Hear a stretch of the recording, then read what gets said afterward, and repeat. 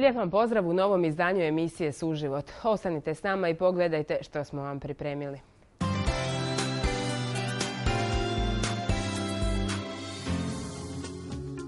Predsjednik Ivo Josipović u Gorođu boravio na poziv predstavnika reformirano-kršćanske Kalvinske crkve. Učenici osnovne škole u Starim Jankovcima u mogućnosti učiti jezike nacionalnih manjina koje stanuju na području ove općine. Dobar odaziv na nastavu mađarskog i rusinskog jezika.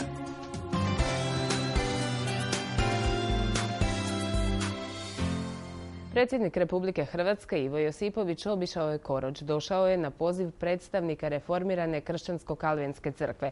Posjet je pratila i ekipa suživota.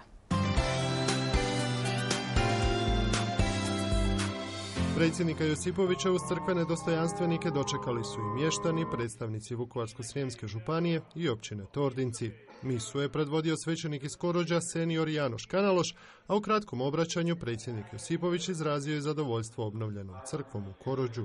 Vratio je posjet, znači bili smo kod njega prije godinu dana i zamolili smo ga da posjeti našu reformiranu kršćansku crkvu. Bio je u Lugu u biskupskom uredu, tamo je imao protokolarni razgovor sa nama, odnosno sa biskupom i sa svećenstvom, a u Korođu je došao do kurtaznog razgovora, odnosno posjeta crkvi gdje je bila misa kratka i kulturni program i evo sad dobila si školu što nam je jako drago. To je povijesni događaj ne samo za Mađare nego za, za cijelo selo je prvi puta da takav visok gost dolazi u našu sredinu. U Republice Hrvatskoj nas ima 4000, preko 4000, a imamo 26 župa kompletno u Republici Hrvatskoj. Biskupski ured nam je u Lugu, a jedan od, od najjačih je baš ova, ova zajednica ovdje u Korođu koja je najbrojnija. Posjet predsjednika Josipovića Korođu nije bio slučajan. Na njega se odlučio nakon nekoliko poziva predstavnika reformirane kršćansko-kalvinske crkve. Prije Korođa Josipović je posjetio i crkvu u Baranjskom mjestu Luk gdje je smješten biskupski ured. Mjesecima smo zvali gospodina Ivo Josipovića i on nam obetio da će nas počastiti s tim da dolazi k nama. Mi smo kao nacionalna manjina tu u Hrvatskoj i naša reformirana crkva u broju isto tu malo, ali na svetu ima mnogo više. I čast nam to da on e, možemo na njega računati da on kao dobar pastir čuva svoje celu stadu i to i mađarska nacionalna manjina i reformirana crkva.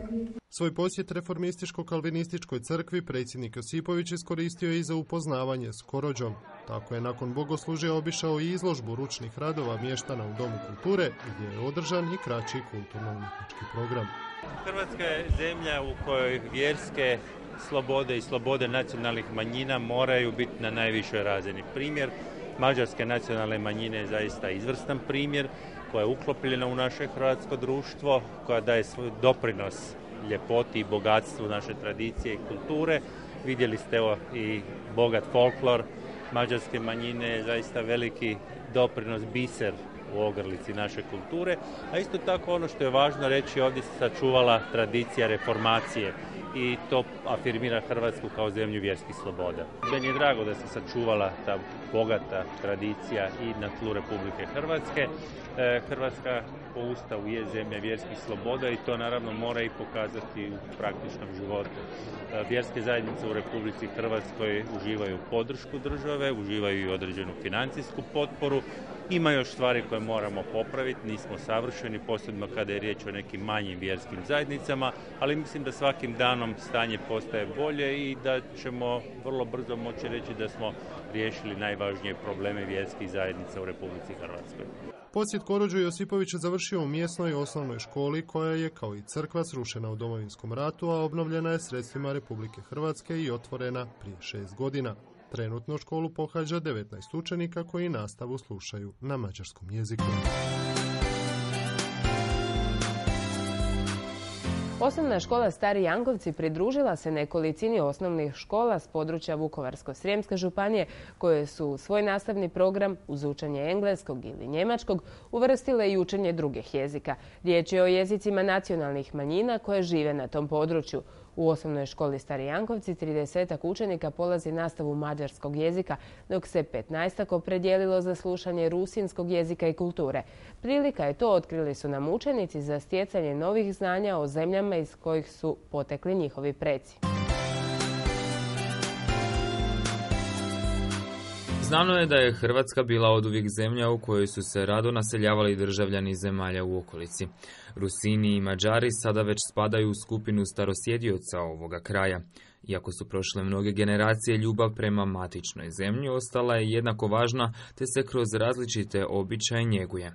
Jedan od načina da se očuva od zaborava je njegovanje prije svega jezika, stoga vođeni potrebama zajednice, no interesa djece i mladih, osnovna škola iz općine Stari Jankovci u svoje školske programe uvrstila mogućnost učenja jezika Mađara i Rusina. Od e, ove školske godine imamo znači uveden novi predmet njegovanje rusinskog jezika i kulture, s tim da mađarski jezik i kulturu imamo već od prije, dakle već od 2004. godine imamo uvedeno. E, evo, na sreću i ove godine taj rusinski jezik, tako da djeca imaju stvarno mogućnost izbora e, ajmo reći dva jezika i dvije kulture, znači naučiti. Moram primijetiti da E, nije to samo znači za djecu e, konkretne nacionalnosti, da li to rusinske ili mađarske. U našoj školi evo tu nastavu pohađaju i djeca hrvatske nacionalnosti. Da pače, to su čak i, i u, u, većem dijelu, u većem broju učenici. E, to je samo još jedna mogućnost da oni dakle e, još se razviju kroz, kroz jedan strani jezik, a da pače i upoznaju još jednu kulturu. Prema riječima ravnatelja Lučića, realizacija ovoga za školu, no i učenike hvale vrijednog projekta nije bila osobito zahtjevna. Potrebno je tek bilo nešto dobre voljeno i želje od strane učenika za stjecanje novih znanja. Do realizacije uglavnom je došlo uz pomoć roditelja. Dakle, roditelji su ti ipak koji, koji pokrenu ovoga nekakvu inicijativu. E, u Jankovcima i živi, e, znamo da živi jedan dio, znači rusinske e, manjine i mađarske. Kada je riječ o mađarskom jeziku i kulturi, Jankovačka osnovna škola nije prvi puta u ovakvoj vrsti projekta. Nastavak je to započetog rada koji je naprasno prekinut za ratnih zbivanja na ovom području prije 21 godinu. Mi smo mađarski jezik i kulturu imali dakle i prije domovinskog rata, tako da je od 2004. znači poslije e, povratka i to 2004. samo, ajmo reći, to obnovljeno. Što se tiče rusinskog jezika, on je novi i evo to je znači uz inicijativu udruge Rusina, ovoga Rusnjak i evo znači samih roditelja. U biti roditelji su ti koji e, daju suglasnost da, da njihovo dijete to uči ili ne. Dakle, uz njihovu suglasnost to je posljeđeno ministarstvo i ministarstvo moram priznati što se tiče e, nacionalnih manjina i, i učenja kultura, jezika, stvarno izlazi ovoga dosta u susret, tako da evo na županiji ima znači u ovo zadnje vrijeme dosta uvedeno tih e, njegovanja jezika i kultura. No, osnovna škola Stari Jankovci nije jedina na području Vukovarsko-Srijemske županije koja je u svoj nastavni program uvrstila jezik i kulturu nacionalnih manjina koje već stoljećima obitavaju na području Republike Hrvatske i najistočnije županije. Ima i drugih škola, e, e, čak neke, evo znam primjer da Antona Bauera u Vukovaru imaju i makedonski jezik i da li čini mi se još neki, tako da evo, oni imaju još veći izbor ovoga, tih e, jezika i kultura njegov. Dva relativno nova predmeta za učenike ne spadaju u redovan oblik nastave. To je izborna nastava, tako s tim da kao i svaka izborna nastava, ono dijete, to je roditelj koji e, da suglasnost za dijete pohađa tu nastavu je dužno pohađati tu školsku godinu. eventualno E, oni mogu na kraju školske godine pisanim zahtjevom jeli, da se, da se ovoga e, da prestanu pohađati. Ali znači kada odaberu taj predmet, iako izborni on je onda njih za njih obvezan ovoga tu školsku godinu. No iskustvo i znanje stečeno tijekom pohađanja sata mađarskog i rusinskog jezika i kulture i tekako će biti vidljiv na samom kraju školske godine. Sam taj predmet se nalazi i u svjedočbi i takozvanoj toj našoj matici koliko znam, mislim da oni ne dobiju bodove u smislu upisa kasnije u srednje škole, ali evo, E, učenici se odlučuju za, za, to, znači nije to, to i dobro da se ne odlučuju samo iz nekog razloga da bi dobili nekakve bodove, da bi dobili nekakva prosjek, da bi s tim digli, nego evo, stvarno, znači to su djeca e, koji su bolji učenici i koji se odlučuju za takve neke osim ako nisu konkretno te nacionalnosti. E, ako i jesu, onda znači to je, ajmo reći, bake, djedovi ovoga ili eventualno roditelji, znači koji evo još ih potaknu da, da nastave to učiti svoj materinski jezik. Stara ona kaže da čovjek vrijedi koliko poznaje jezika. Ovoga, e, kažem, evo, ovdje živi znači i, i mađarske nacionalne manjine, pogotovo prije domovinskog rata i prije nekakvih vremena gdje su oni čist, činili možda i većinu ovoga stanovništva. E, da ne kažemo da se Hrvatska sama naslanja jeli, na mađarsku, ali općenito svaki jezik ovoga, ono što bi rekli, dobro dođe. Naša djeca i posjete, dakle, Mađarsku, mađarska vlada ima taj program i pomoći, oni dobiju nekakva novčana sredstva ovoga, tako da evo, mi ovoga savjetujemo djeci ako, ako nemaju drugih nekih obveza da se i uključe ovoga u nekih od ovih jer imaju oni znači osim engleskog jezika koji možemo reći da je prihvaćen kao prvi strani jezik kod nas u školi, a u većini škola i drugi strani jezik njemački. E, ako već nešto od toga ne idu, evo, uvijek je dobro da, da ako imaju afiniteta, pogotovo znamo da neki imaju taj talent i dar da, da im strani jezici ovoga idu i tako da im je onda još i to tom dijelu lakše. Trenutno 15 učenika pohađa predmete rusinskog jezika i kulture, a 30 učenika pohađa mađarski jezik, sve uz stručnu pomoć nastavnice mađarskog jezika Martine Strugačevac.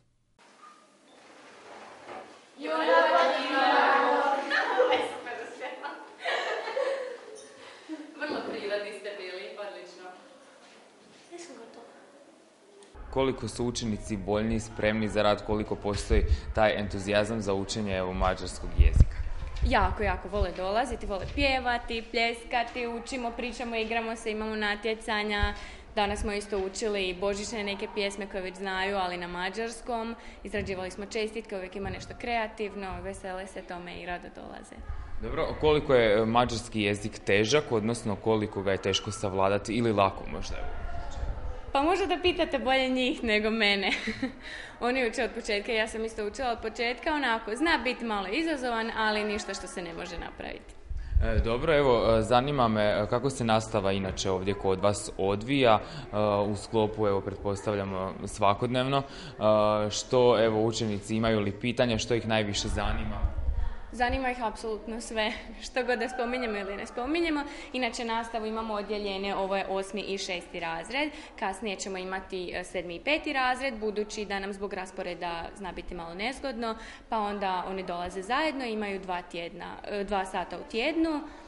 I tako je to, snalazimo se. Nekad dobivaju malo različite zadatke, nekad zajedno uče nešto, pjesmice uglavnom zajedno, ako je nešto kompliciranije onda osmaši i sedmaši uče svoje, a ovi mlađi nešto drugo već jednostavnije prikladno. Uz nastojanje nastavnice Martine da učenje mađarskog jezika učenicima približi na najjednostavniji način, potrebno je ipak i od strane učenika nešto truda kako bi se svladali izazovi koje pred njih stavlja učenje novog i dosada nepoznatog jezika. U njegovanju mađarskog jezika i kulture najvažnije je e, uz jezik i njegovati neke običaje, pa onda znati recimo nešto o mađarskim plesovima ili hrani ili gradovima i tako dalje. Pa smo se trudili na početku odmah što više napraviti, recimo plakata, pa onda pjesmica što više da oni razumiju da to nije samo u biti jezik, nego još dodatno i kultura ide uz to. E, možete vidjeti isto naše, naše razne plakate na, na puno tema, ima izvan učionice isto pa smo htjeli pokazati neke običaje, nešto što se radi u Mađarskoj i kod nas u Slavoniji, da su neki običaji povezani. E, što se tiče gramatike, pravopisa i tako dalje, to ćemo još kroz godinu dodatno usavršavati, već znaju što šta, ali samo eto treba, treba dodatno pogurati. Po vama, evo, ovaj projekt učenja ne samo mađarskog, već i rusinskog jezika ovdje e, u ovoj osobnoj školi, koliko je, evo, možemo tako reći, dobra stvar? Ja mislim da je to izuzetno dobra stvar, povezujemo se sa svim stranama Europe i svijeta i zašto ne, definitivno ovi manji jezici nisu dobili toliko priliku kao recimo engleski i njemački, pa onda zašto ne, uvijek je, uvijek je u redu znati nešto dodatno uz, uz ove velike jezike. Recite vi nama što je vas evo motiviralo da e, se bavite mađarskim jezikom? Pa ne znam, eto, upisala sam to još za engleski na faksu, bilo je zanimljivo, pa sam nastavila, zašto ne, tako sam i završila. Ali ima, ima puno zanimljivih strana, recimo i dosta je povezan recimo sa ovim našim hrvatskim i pogotovo ovdje u Slavoniji. Možemo povezati puno riječi, ima slavenskih starih riječi u mađarskom i tako se najlakše nauči kad se povezuje uz to. Tako da mi je recimo to bilo najzanimljivije. Ipak svladavanje teškog gradiva mađarskog jezika mnogo je lakše uz pjesmu, stoga u ovoj učionici mađarske melodije često odzvanjaju, a sve u svrhu učenja i stjecanja novih dragocjenih znanja.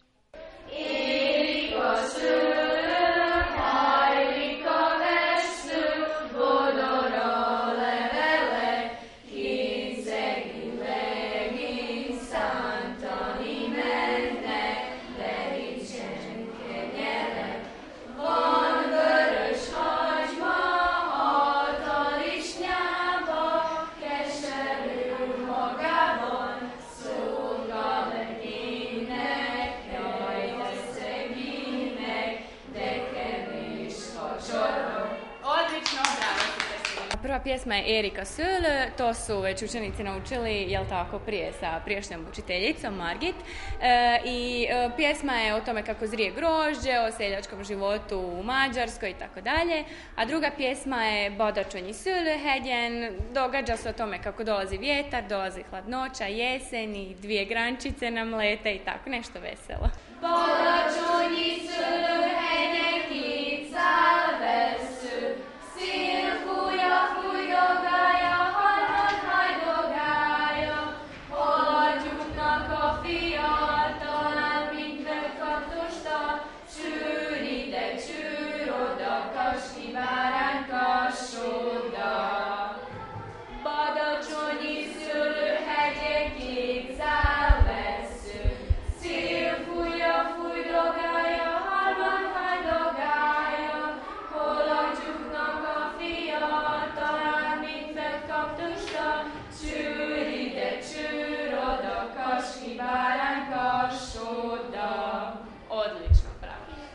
A što je najzanimljivije iz mađarskog jezika, te kako ide učenje povijesti, gramatike, no i kulture mađarskog kraja, otkrili su nam sami učenici. Martina, ono što mene zanima je zašto si ti odlučila evo, učiti mađarski jezik? Kad znamo da si volio možda njemački, engleski, a to je i e, Zato što e, mađarski je zanimljiv i htjela sam imati nekih drugih jezika koje bih mogla naučiti. A reci mi, evo, što ti je najzanimljivije u mađarskom jeziku? E, pjesme. Dobro, evo imali smo prilike čuti. E, pjesmice, što si imala, koliko je teška gramatika, evo i pisanje, pravopis i sve što ide, e, možeš nam ovom pojasniti? Pa malo je, a malo nije teško. Što, što je najteže? E, pisanje. Dobro, u, koliko se razlikuje mađarski jezik od hrvatskog Puno. Koji je lakši? Hrvatski. Zanimalo me što ćemo učiti, kakav je to jezik i kako se to piše, izgovara. I dobro, reci ti nama kakav je to jezik. Težak. Zašto je težak? Pa ima dosta riječi, neke moraju se govoriti otegnuto, e, neke drugačije se izgovarati tako. Dobro, a koji ti je najdraži dio evo, ovoga sata mađarskog jezika i kulture? Što, što ti je ovako najdraži? Kad izrađujemo nešto čestitke ili neke ukrase pravimo. Dobro, evo osim što učite gramatiku, pravopis i pisanje, spomenula si da radite čestitke. Što ste radili evo ovih dana? Znamo da nam se bliže blagdani, pa evo. Za... E, bili smo radili pahuljice, pravili smo čestitke, izrađivali ukrase za učionicu. Dobro, a, a reciti meni, evo, e, je li netko od tvojih možda govorio mađarski ili netko od tvojih predaka iz Mađarske došao ovdje ili evo, čisto te je vodila nekakva nit znati želje da učiš mađarski jezik? Nije niko iz obitelji nije mađar. Zanimalo me i onda došla sam tu. Dobro, kakva je, kakva je nastavnica? Je li stroga? Nije. Daje zvijezdice? Da. Pa prije svega znati želja, htjela sam kako se to izgovara, uči i tako, znati želja većinom. Najzanimljivije je pjevanje i kad izrađujemo nešto. Dobro. jesi li, je li mađarski jezik teže? Pa po, po meni je. Mora znati kako se piše, kako se čita, drugačije izgovara nego hrvatski. Znamo da, da je hrvatski jedan od težih svjetskih jezika. Je li teži hrvatski ili mađarski? Po tim nekakvim, evo, detaljima koji... Mađarski teži. Zato što govoriš hrvatski? Da. Dobro, a reci mi, e, evo, profesorica, odnosno nastavnica svakodnevno vas uči i evo upućuje e, u, u, različite stvari mađarskog jezika. Bi li ti voljela evo studirati mađarski jezik? Pa ne baš čini se preteško. Povodila me čista znati želja, kako se piše, izgovara, kultura. Što ti najdraže? E, izrada nekih ukrasa, pisanje, čitanje. Helena Mađaroš uči mađarski, je tako? Zašto se Helena odlučila učiti mađarski? Uh, pa moja cijela obitelj su Mađari i um, oni nisu baš toliko govorili mađarski kod kuće kako mi ne bi bio problem kad bi krenula u školu hrvatski naučiti, tako da sam ja željela, uh, željela znati, uh, upoznati se sa kulturom koja je bila u mojoj obitelji um, prije mene. Bravo, koliko je tebi važno evo, da njeguješ tu nekakvu tradiciju, običaj pa i sam jezik evo, svojih predaka? E, pa vrlo mi je važno zato što e, je živjeti u manjini e, dosta tako da kažem, važno je isticati se, važno je da svi koji žive u ovoj državi, koji koji su Hrvati, koji, da upoznaju i druge kulture, a mi smo ti koji ih trebamo predstaviti. Lijepo, lijepo rečeno. U istinu, mene zanima, evo, možeš li nam ti nešto više reći koji su tvoji dojmovi o mađarskom jeziku? Evo, znamo da lijepo i tečno govoriš hrvatski, ali kakav je mađarski jezik? Kako bi ga ti opisao?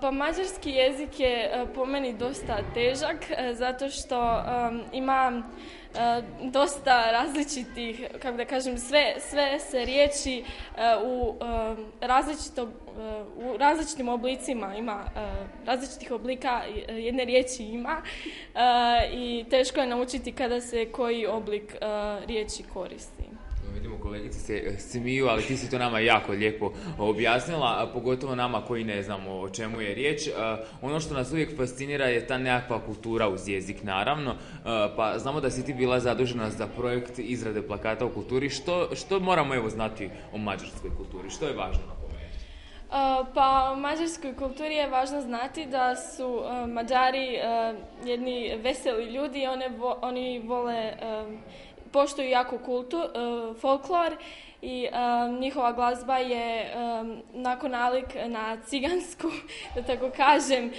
oni imaju jako vesele plesove, njihovi glazbenici su istaknuti, imaju puno pisaca koji se diče svojom zemljom. to je to. Dobro, mene zanima, ja evo svake godine imam zajedno sa našom ekipom prilike raditi ovdje baš u Jankovcima jedan stari e, mađarski običaj. možeš li mi reći ti koji je to? U svibnju. Um, majsko drvo e, koje se sadi na početku svibnja i ruši se na kraju svibnja. Dobro, koliko je to veliki događaj evo, za, za vas ovdje u Jankovcima? E, pa dosta je velik događaj jer svi Mađari e, koji žive u Starim Jankovcima e, dolaze u Mađarsku kuću na tu manifestaciju jer to je isto također jedan od važnijih dana kojim se, kojim se može dičiti mađarskom kulturom, a nema puno tih dana. Entuzijazmom i željom za stjecanje novih znanja ovih mladih osoba očuvanje rusinske i mađarske baštine, barem što se tiče općine Stari Jankovci, u sigurnim je rukama, stoga posjetu ovoj školi i satu mađarskog jezika valja i završiti s jednom mađarskom recitacijom. Elek, mikor mez lez meleg, akor lez majd meleg, hanem fyna kaselek. Elek, kada će biti toplo? Onda će biti toplo kad ne bude puhali kad ne budu puhali vjetrom. Toliko u ovom suživotu, budite s nama i u sljedećem, a i do tada naravno ostanite uz naš program. Hvala za pozornost i doviđenja.